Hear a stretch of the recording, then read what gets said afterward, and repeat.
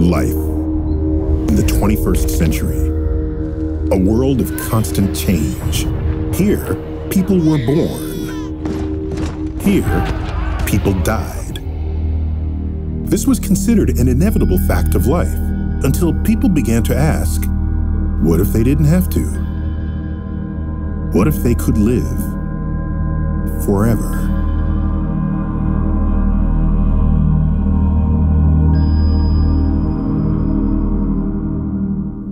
You live against the truth of the universe. You know, uh, if you have a family, you're aware that your children will someday die, but you don't treat them as dead. You treat them as living creatures that you have to nurture.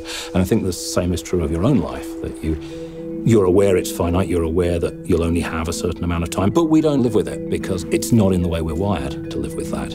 Every human is born ignorant of death, believing that life has no end. But when you learn the truth, how do you go on? People want to show that they existed.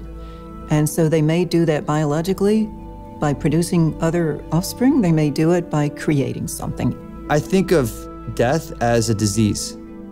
I think it's a disease that's, that's possibly curable and potentially and likely curable.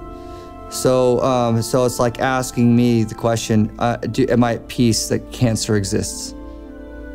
You know, am I at peace that the, this disease that, that killed my father exists. No, I'm not at peace with that.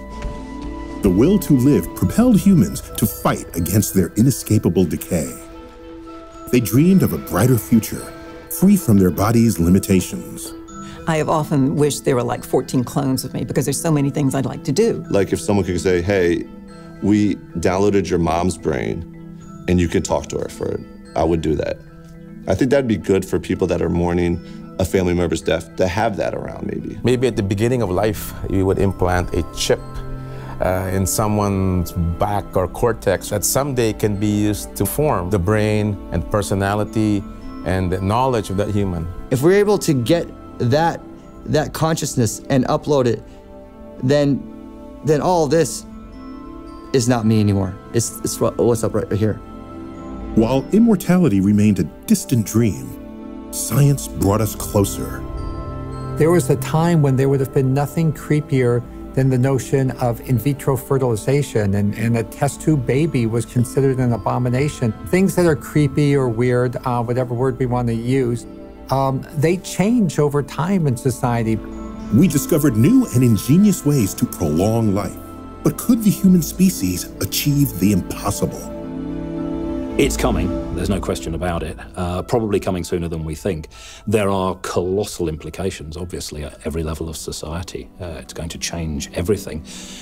But technology always does. This is that's not in itself anything new. And I think the key is not to be not to be afraid of it. Once we decode the language of the brain and connect that to a machine, then we can capture and store the essence of a person as data. We're looking at the end of our bodies as a permanent residence. Imagine someone who is at the peak of their physical prowess and then just stays that way. This future was closer than they realized. Scientists were already at the threshold of a new era in human evolution.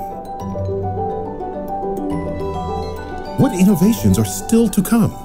What dreams of immortality have yet to be fulfilled? What will become of the human species? Thanks to Psychasec, we'll be around to find out.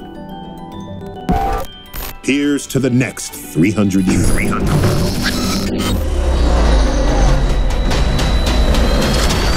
The danger of living too many times. You forget to fear death.